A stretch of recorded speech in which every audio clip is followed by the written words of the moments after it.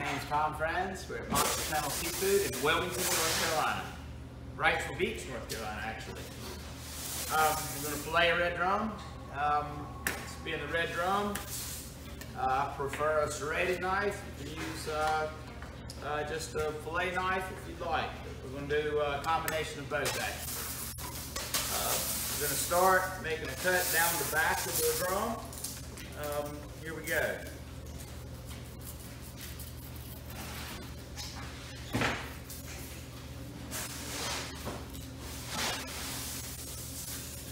Now as you cut, you go right down the back. Um, the scale can cause a problem with the knife wanting to slide uh, up and off the fish. So always be very careful.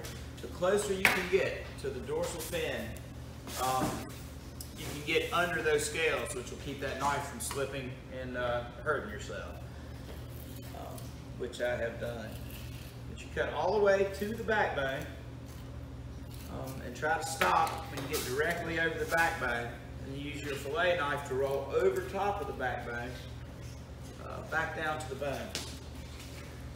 And then just press it down on the bones themselves and then straight out in that sort of motion out the other side of the fish. And you pick the fillet up, keeping it out of your way, and you'll cut through the rib bones here. As you pick it up, you won't cut back into the meat as you go through it.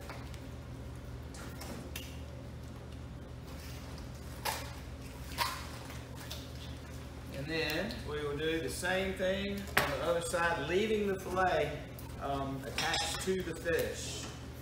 It, uh, it keeps it a level surface. If you take that off, then you, you know, you gotta, uh, you're cutting downhill, which you don't want to do.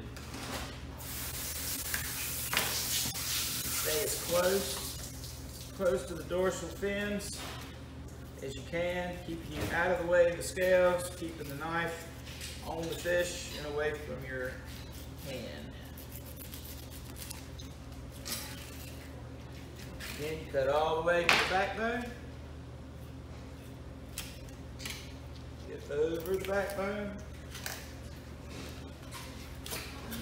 Out the other side. Over the backbone. Out the other side. Trying to cut backwards so you can see. Um, then you're, you're keeping this up so he's not cut back into the meat all the way to the head.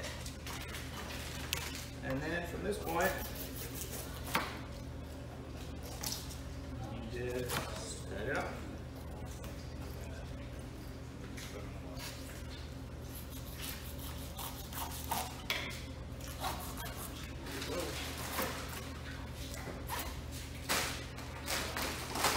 I guess if you cut out real quick, that means uh, I messed up, right? uh, but there we go. There we go, and we'll skin this as well. Um,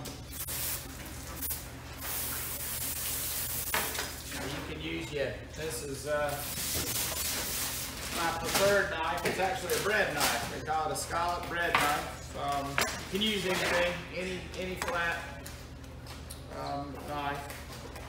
You just, uh, with the drum, skinning's pretty easy. The skins really thick, which allows you to put a lot of pressure uh, straight down without cutting through the skin. So you can put a lot of pressure straight down on the table, uh, back and forth, real slow motions until um, from one, one end to the next, until you've got the skin off.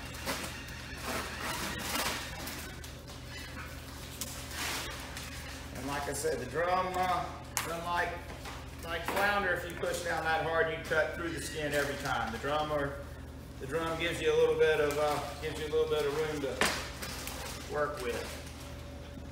And there we go. Red drum fillet.